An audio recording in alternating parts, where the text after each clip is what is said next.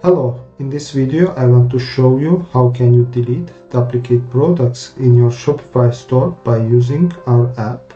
So let's start by installing the app.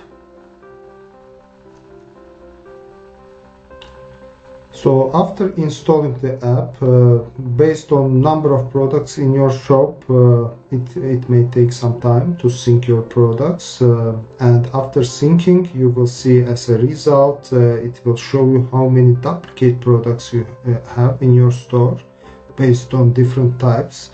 So in my store, based on my example, I have uh, three duplicate products based on title six duplicate products based on SKU and uh, three duplicate products based on barcode. So here, uh, based on our situation, we should uh, check options, what we can do about these duplicate products. In this case, we can simply manually delete uh, these products uh, by uh, selecting them here. And let's click on delete selected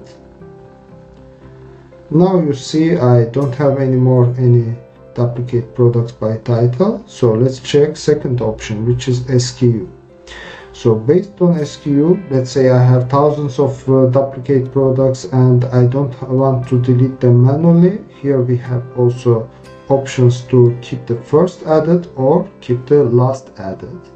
And uh, here as you can see it also shows duplicate products this case these two products are duplicate and duplicate variants as well. So uh, these two variants are duplicate uh, and here you can see the, their SKUs are the same SKU1 and these three uh, products are uh, have same SKU and these three variants has same SKU as well. Uh, so I just want to keep the first added here in this example and uh, run bulk delete job so when we start the job, we will see here job will start and we also can follow details here. As you can see uh, job already finished and we can check details what happened. If it's a long run running job, you can see also these details in real time. And uh, yeah, after seeing all the details, uh, we, we can now check uh, our third option, which is barcode.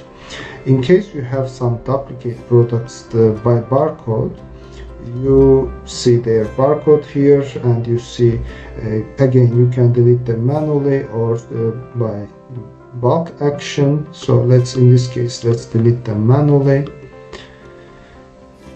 Okay now uh, we get rid of all the duplicate products in our store and uh, congratulations hope this app will solve your problem.